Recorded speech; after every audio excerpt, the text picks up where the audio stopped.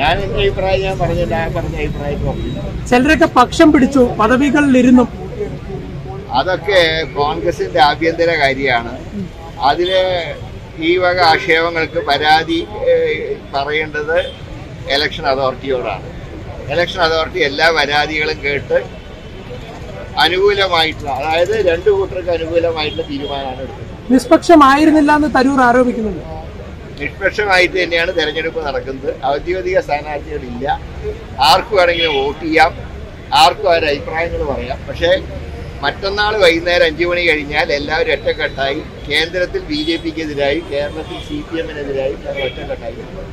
ഒരു കാര്യം കൂടി. അതായത് ഇവിടെ ഇപ്പോൾ തരൂറിനെ മോശക്കാരൻ അല്ലെങ്കിൽ തരൂർ ട്രെയിനി എന്നൊക്കെ പറഞ്ഞിട്ട് ഒരു വർഷത്തിന് ശേഷം തരൂർ വീണ്ടും മത്സരിക്കുമ്പോൾ തരൂർ മികച്ച ആളാണെന്ന് വോട്ടർമാരോട് പറയുമ്പോൾ ഒരു അദ്ദേഹം തിരുവനന്തപുരം പാർലമെന്റിലേക്ക് ഏറ്റവും നല്ല ജനപ്രതിനിധിയാണെന്ന് ഞാൻ തന്നെ പറഞ്ഞിട്ടില്ലേ? ഞാൻ പറഞ്ഞല്ലോ. തിരുവനന്തപുരം പാർലമെന്റിലെ ഏറ്റവും മികച്ച സ്ഥാനാർത്ഥി ആരാണെന്ന് ചോദിച്ചാൽ ഞാൻ ആദ്യം പറയുന്നത് ശശി തരൂരിന്റെ പേരാണ്. അധ്യക്ഷനായി ഞാൻ കാർഗേനെ ആഗ്രഹിക്കുന്നു ഏറ്റവും പുതിയ വാർത്തകളും വിശേഷങ്ങളും അതിവേഗത്തിൽ അറിയാൻ Zee Malayalam news app download ചെയ്യൂ സന്ദർശിക്കൂ W W W dot Zee Malayalam news dot com